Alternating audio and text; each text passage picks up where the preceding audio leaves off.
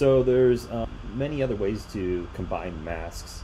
One thing I like to do is use what's called a gradient to create a gradient mask. And the idea is if I want to blend two things together at a certain point, the gradient tool is really helpful in doing that when I apply it to a mask. Now sometimes when I use the gradient tool and I want to combine things, I already may have a mask applied. For example, here I have this rabbit that has a mask and I have a tiger that has a mask. Let's say I want to blend the two together. What I would do is actually group each one individually into a group.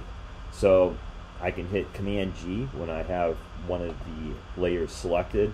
So the rabbit is in its own group, and I'll select the tiger and hit Command G, and now the, the tiger is in its own group. And the thing about doing this is we can apply masks to the groups as well. What I can do is, even though I already have a mask applied to the rabbit, I can create an additional mask, the group for the rabbit, and that will mask that rabbit even further without having to change the original mask. So I can just select a group for the rabbit with the mask icon for the rabbit, do the same for the tiger.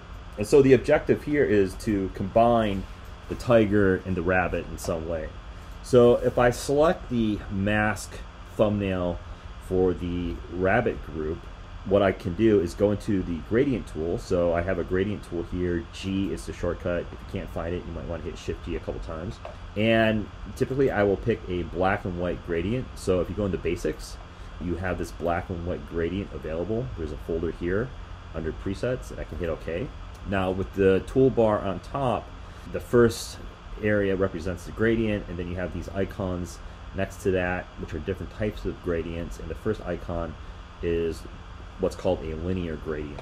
So if I have black and white, what I can do is I can drag a gradient in that thumbnail and depending on the direction that I grab, I can create this gradient here and now I blended a little bit of the rabbit into the tiger.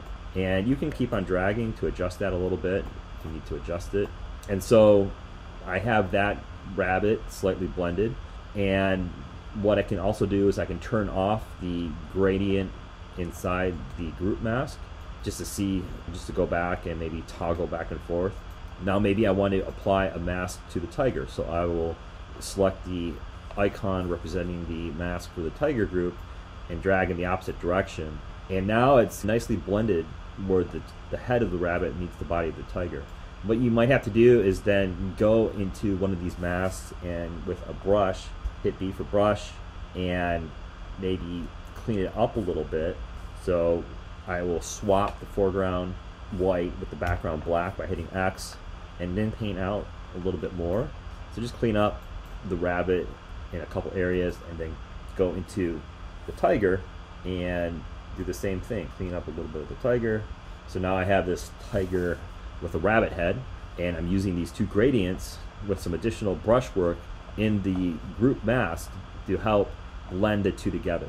And so this is a good example where I'm using multiple masks and grouping just to come up with the composition I want.